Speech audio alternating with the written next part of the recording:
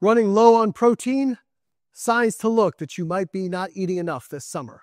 Now, guys, if you've been following me for any period of time, you know that I'm big on protein. Protein is beneficial for helping to build lean mass and also help maintain lean mass when you're on a fat loss diet. But a lot of people don't know that protein actually helps with satiety and increases your calories out or your energy expenditure. So, protein, unlike some of the other macronutrients, because it activates muscle protein synthesis, because it increases the turnover of muscle proteins, that process is energetically expensive and costs energy. And thus, when you eat more protein, you have to burn more calories as part of kind of this futile cycle of protein turnover. So let's take a real quick stat check. Protein, good for lean mass.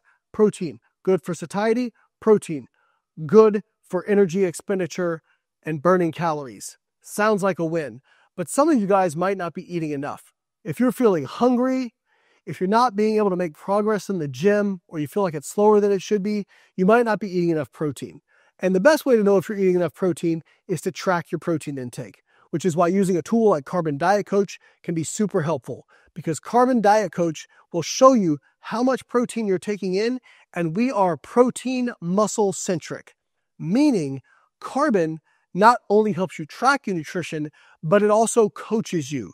So we don't just give you a random protein number. We don't give you the RDA protein. We give you an amount of protein that has been shown to optimize building lean tissue, help with fat loss, and to help with satiety. So we're going to make sure you're getting enough protein to optimize your fat loss.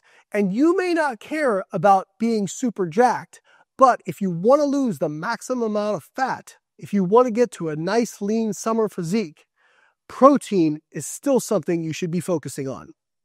So with carbon, we make it easy because we make sure you're getting in the right amount of protein for not just building muscle or maintaining muscle, but also for fat loss and satiety. So if you guys are interested, make sure you sign up and subscribe at the link in my bio.